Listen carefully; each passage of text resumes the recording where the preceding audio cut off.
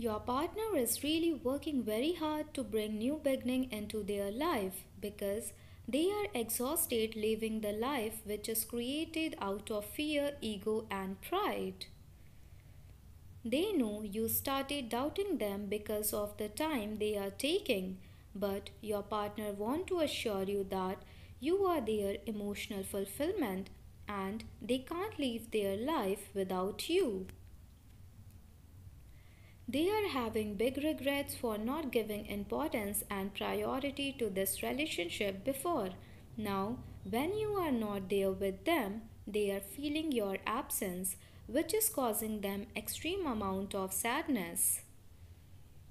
Your partner is healing their codependency issue because they were extremely codependent on their karmic people since a long time.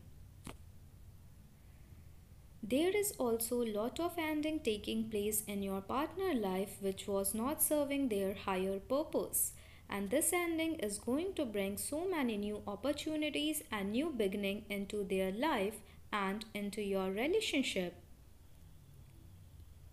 Subscribe for more upcoming channeling. Thank you.